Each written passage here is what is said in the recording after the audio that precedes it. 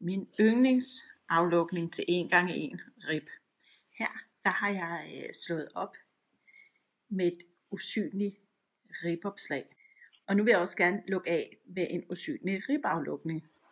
Det kan man gøre på flere måder.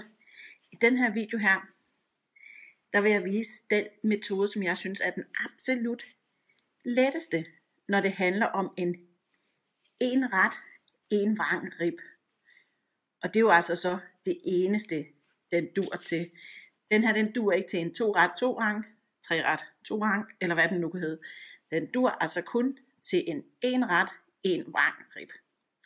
På de første to omgange, der skal du lave det, der hedder en opsætning. Og opsætning, den laver du altså ved, at du på første omgang strikker en ret, og så næste maske, der ligger du garnet foran pinden, og løfter masken løs af. Og du laver ret hen over ret. Og hen over vrangmasken, der løfter du masken løs af med garnet holdt foran arbejdet. Ret. Og løs af med garnet foran arbejdet. Ret.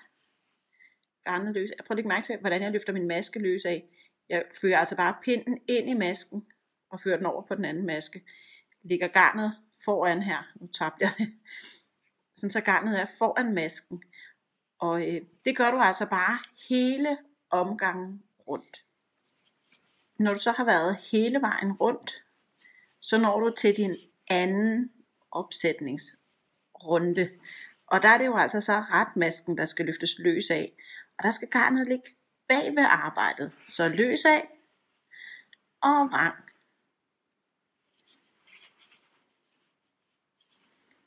Nu skal jeg lige sidde, sådan, så jeg kan være her.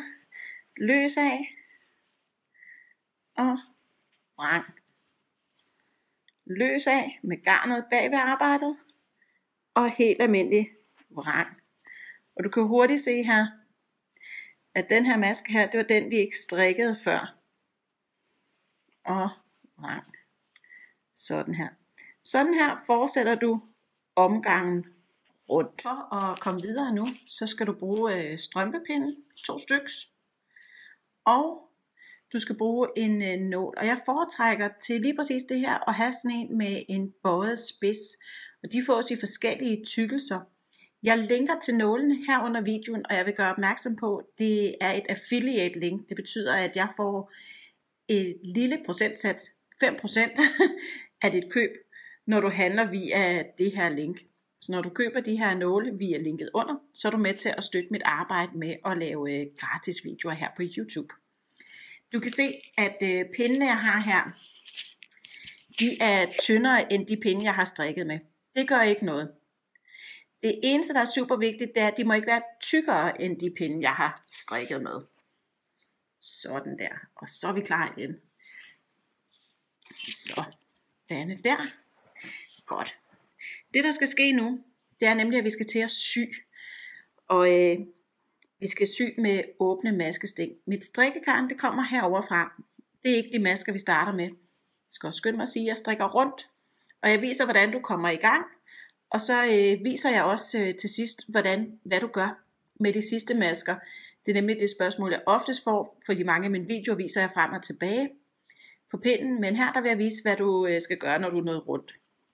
Se her, nu har jeg mine to pinde her. Nu skal jeg have delt maskerne op, sådan så jeg har mine retmasker, dem har jeg her på den forreste pind, og mine vrangmasker, dem har jeg på den bagerste. Og lad os bare sige, at jeg tager sådan, så jeg har 10 masker på pindene. Det var 2, 3, 3, 4, 4, 5, 6, 8, 8, 9, 10, 10.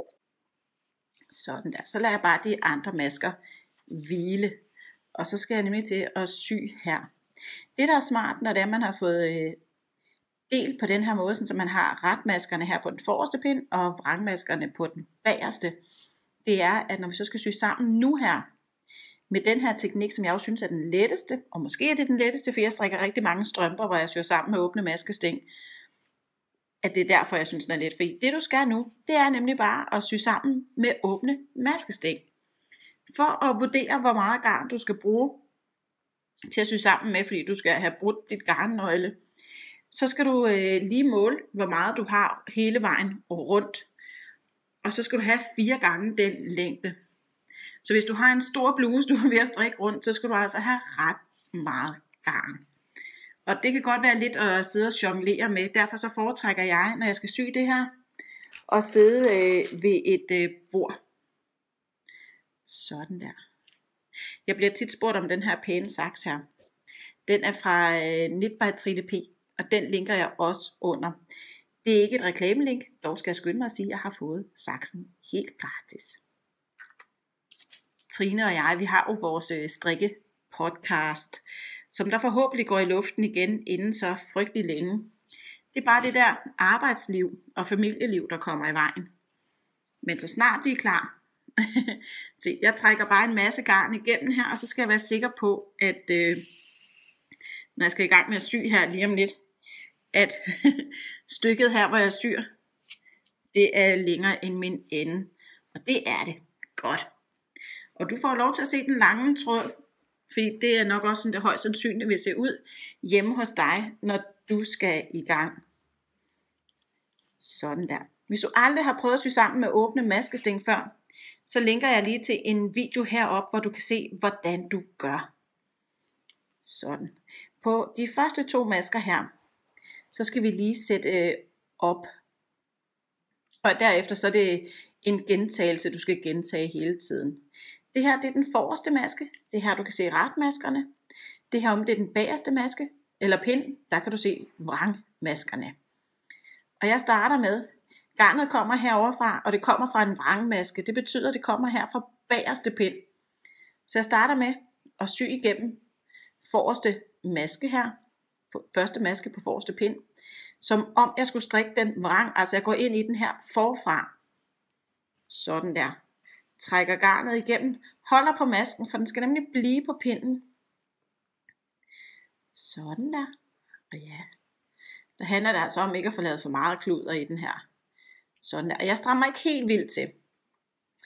Men jeg lader det heller ikke hænge løst. Nu skal jeg om på den bagerste pind, den jeg kalder vrangpinden. Og der syr jeg gennem masken, som om, at jeg skulle strikke ret. Jeg går altså ind i den her. Sådan der, lige præcis som om jeg skulle strikke den ret. Sådan der. Så trækker jeg igennem. Det er jo som sagt lidt af et trækarbejde, men små nyk ad gangen. Pas på, at det ikke filter. Pas på, at man ikke kommer i kompolage med de andre pinde. Og nu trækker jeg lige lidt mere til. Sådan der. Så kan I se, nu har min maske hernede. Hernede, der har jeg en halv maske hængende nu. Den har samme størrelse som masken, der ligger under. Se her. Den her, den har samme størrelse som masken, der ligger under. Nu skal vi i gang med gentagelsen.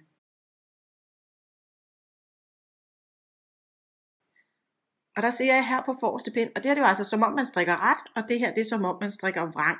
Og det her det er ramsen. Ret og af. Vrang og bliv på forreste pind. Træk igennem. Lige så forsigtigt langsomme bevægelser, fordi så filter det ikke så nemt, og jo hurtigere, eller jo længere rundt du kommer, jo mindre garn du har, jo hurtigere kan du sy. Så her er det en god idé at sidde med en god kop kaffe, mens man laver det her. Måske høre en lydbog. På bagerste pind, der ser vi vranger af, ret og bli. Så trækker vi igennem igen. Du har måske allerede øh, nu lagt mærke til, at øh, hver maske, den syr jeg igennem to gange. Sådan der, så har min maske her samme størrelse som masken under. Jeg viser lige en gang til. Retter af, vrang og bliv. Det var forreste pind. Og den ser ud som om den er ret. Så det er en god måde at huske på, at der hvor den ligner ret, der siger man retter af, vrang og bli. Sådan der. Herom, Jeg lader garnet gå under. Herover hvor det ligner vrangmasker det hele, der siger vi, vranger af, ret og bliv. Trækker igennem. Prøv at se, jeg holder her på mine masker med tommeltotten, og jeg laver også lige øh, fingrene her, hvor jeg holder på garnet, for så har jeg føling med, at det ikke klumper, for hvis det kommer til at klumpe, så kan jeg godt komme til at hive i maskerne. Sådan der. Se, der kommer det klump der. Men der sker ikke noget. Og så trækker jeg igen. Nu har min maske her samme størrelse som masken under. Sidste gang. Forreste pind. Retter af. Vrang og bliv.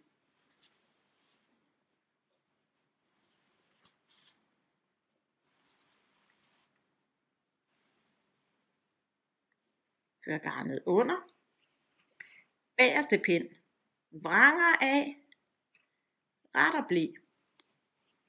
Og træk igennem.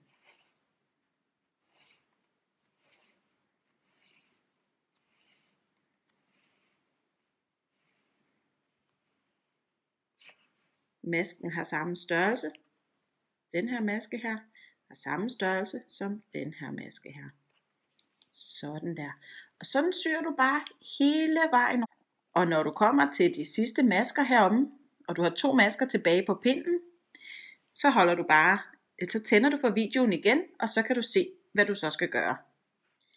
Så er jeg ved at være hele vejen rundt. Jeg har to gange to masker tilbage. Og jeg siger, retter af, vrang og bliv.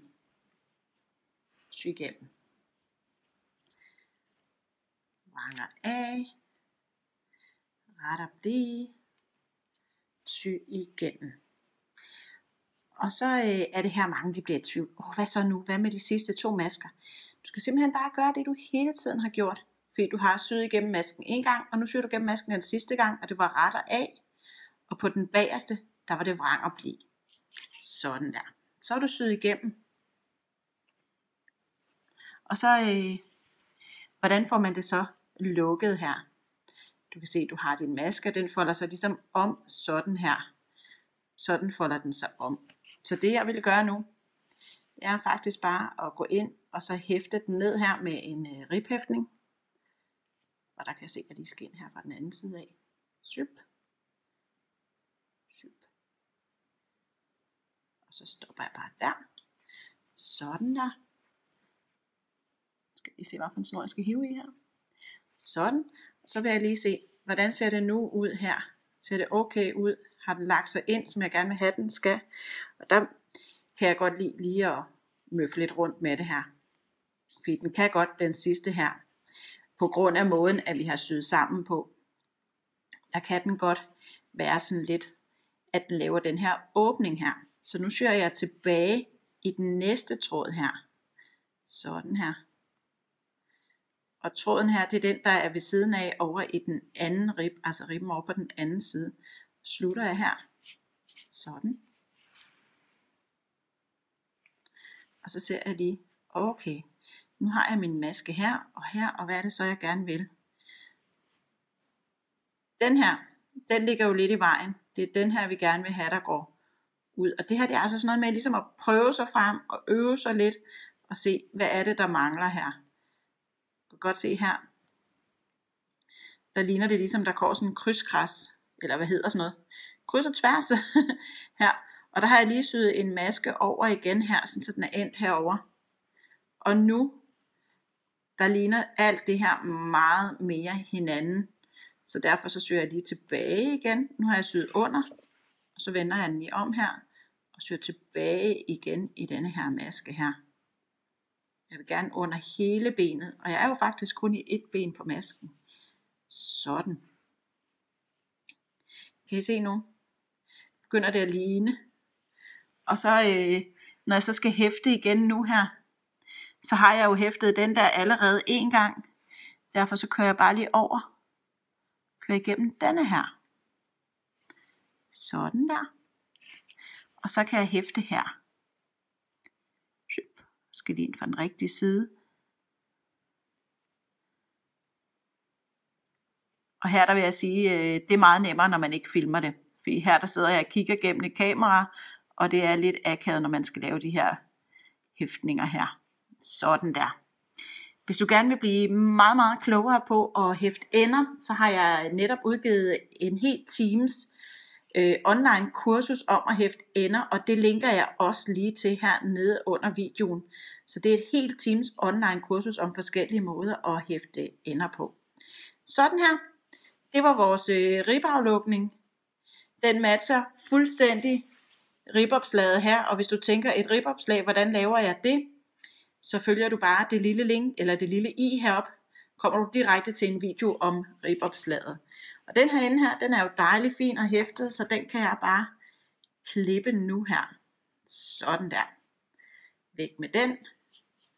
Frynse, frynse. Sådan der. Så hopper det ikke om på retsiden. Så. Min yndlingsaflukning til 1 gange 1 rib. Tak for at du så med. Glem ikke at give videoen en uh, tommel op. Tryk på den røde knap, hvis du gerne vil se, hver gang jeg udgiver en ny video, og det gør jeg jo hver uge. Så det her, det var altså ribaflukning, der matcher ribopslaget heroppe. Lækkert finish. Det ligner jo næsten, at det er noget, du har købt.